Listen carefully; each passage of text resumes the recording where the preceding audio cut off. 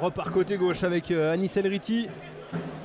Anis Elriti qui a vu le démarrage de euh, Damien Durand. Il n'était pas hors jeu. Il va pouvoir s'appliquer sur le centre en retrait. Oh la reprise Et le but assigné du capitaine euh, Sharendoy qui a été servi dans la surface. Et les joueurs du Red Star qui continuent hein, de s'appliquer à ressortir proprement ces ballons. Avec Anis Elriti une nouvelle fois pour remonter. Noah Kadiou. Ah, et le ballon, on a réussi à mettre face au jeu. Euh, Pape Messaba. Et Pape Messaba, il n'y en faut pas beaucoup pour euh, plus pour. euh, Et une nouvelle fois, la défense de Loïc Kwakba, qui est très présent sur ce début de deuxième acte, le défenseur, très sollicité. Le ballon un petit peu en cloche vers la surface. Sur un. Oh Jeffrey Kouarchi sur la barre Deux résultats extrêmement importants. On fera bien sûr le point sur euh, les autres euh, Penalty. résultats. Que dit monsieur l'arbitre? Non. Penalty. Alors, Non, il y a penalty. Ouais, penalty, penalty, ouais, penalty. Sifflé par monsieur l'arbitre sur cette faute sur Amin Sbaï. Alors j'ai eu peur, j'ai cru en tout cas que monsieur l'arbitre allait siffler une simulation. Nicolas Glibal qui fait les 100 pas, Santi Ngom, peut-être pour le but de la victoire pour le FC 734, peut-être le but du maintien, même Santi Ngom. Ah, Franck Costis qui arrête ce penalty, c'est incroyable. Ce match est complètement fou. Et le penalty est à retirer, mais c'est dingue. Ce match est complètement dingue. Penalty à retirer. Incroyable scénario dans cette rencontre. On pensait que l'arrêt Franck Costis allait mettre un énorme coup sur la tête et rouge. Et rouge. Rouge carrément. Pour Yambéré. Et ben voilà, alors là, ce match est en train vraiment de prendre une dimension assez incroyable. On s'était ennuyé pendant une bonne partie de cette rencontre. Et finalement, Cédric Yambéré qui va être exclu. Et Franck Lostis qui va tenter de ressortir une deuxième parade face à, face à.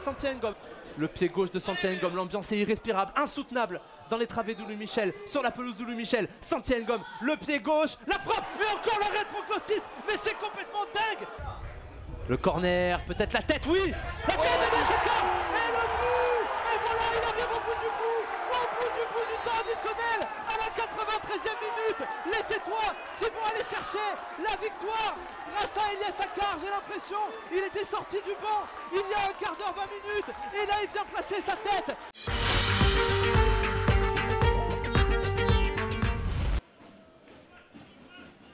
Très difficile à défendre ça, les 1-2. Le gelon sur El Koumisti, la tête d'El Koumisti L'ouverture du score sur cette acrobatie signée Fed El Koumisti qui a surpris la défense briochine, qui a surpris Maxime Patier et qui ne connaît pas le doute depuis euh, maintenant euh, quelques mois. L'égalisation Eh bien la voilà, ça n'a pas traîné ce soir. L'égalisation, elle est pour Emery Gomis. Exactement. Le buteur Ça a beaucoup plus d'in- d'intention sur cette deuxième mi-temps, mais, euh, mais il y a toujours ce déchet technique. Et le contre avec ce ballon récupéré ici par Manaï. Manaï qui lance. Gopé fait des pêches. Gopé fait des pêches. Le deuxième but de l'US Concarneau sur un ballon récupéré à 40 mètres de la cage de Maxime Patier. Et l'US Concarneau clinique.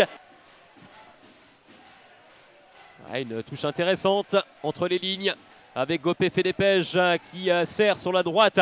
Félix Lay, oh le coup de Félix Lay, ça revient dans les pieds de Fedel Koumisti qui crucifie de manière définitive, très probablement, euh, les joueurs du stade Briochin. 3 buts 1.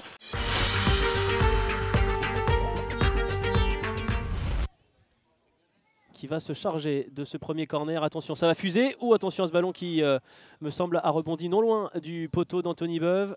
Je sais même pas si ça ne l'a pas touché. Attention, il y a du monde dans l'axe. L'ouverture du score pour le SO Cholet sur la première situation.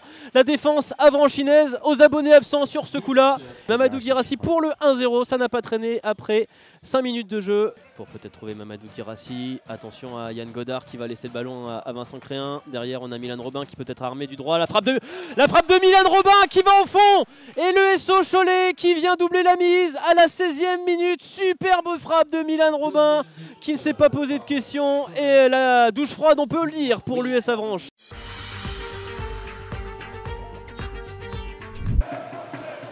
J'en- ai fait des matchs euh, compliqués dans le championnat national en 12 saisons, mais alors celui-ci, bercé par euh, la douceur printanière et par une possibilité en contre avec Guillaume Cousse. Elisor 76e minute, premier tir cadré du match. Il n'y en avait pas eu du côté Cresson, du côté Caradois. Ouais.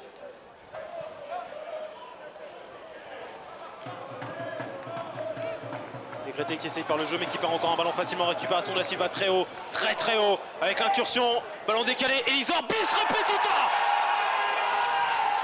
76e minute, premier tir, tir cadré Jonathan Mexique. Il perd pas ce ballon, bien joué Jonathan Mexique. C'est lui hein, qui euh, dicte le tempo du côté de la Berrichon. Oh la perte de balle de Ferris Goma. Attention à cette perte de balle et attention, grosse faute. Grosse faute de Ferris Goma. Et le carton, attention, il a la main. Carton rouge Carton rouge pour Ferris Goma. Mexique. Peter Wané. Mexique. Ça c'est bien joué. On peut trouver euh, dans la profondeur Thomas Robinet. Et encore une fois la sortie d'escale. Pas de main, pas de main, pas de main. Rien selon, euh, selon l'arbitre. Jawari, bien joué, bien orienté. Encore une fois, Jean-Jacques Croquis. Bossetti Le but Alexis Bossetti 77e minute de jeu. Ouais, la bonne déviation, quelle déviation de robinet, lancé dans la profondeur, c'est un Touré et le carton, c'est le carton, carton rouge je pense, en dernier défenseur Mendy, expulsé.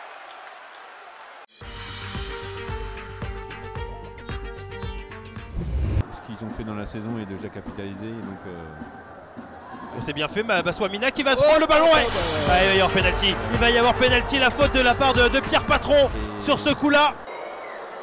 Quelques pas d'élan et peut-être la délivrance au bout devant le virage sud. Et ça va au fond. L'ouverture du score pour la formation de, de Bastia Borgo.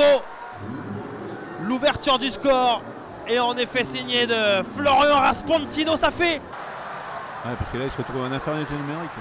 Regarde. Ah ouais parce qu'il y a Boubacar Camara, il n'y a pas de position de hors-jeu. Boubacar Camara qui va pouvoir frapper. C'est la barre transversale. C'est la barre transversale qui va sauver Bastia Borgo. Oh la frappe elle était magnifique, elle était contrée du joueur prêté par Lens.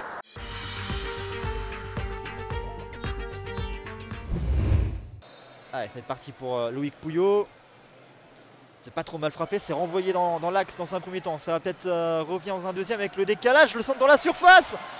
Oh le ballon qui est un peu cafouillé. Et finalement, oh la partie de billard qui va peut-être pas être terminée avec la frappe et l'arrêt. L'arrêt de Geoffrey Lambé. Le centre de Télan, la remise de Keita, c'était compliqué. Gérant qui va quand même être le, à l'affût pour euh, récupérer ce ballon. Mathieu Gérand qui a piqué la frappe et l'ouverture du score. Un exploit personnel sur ce coup-là signé Mathieu Gérand.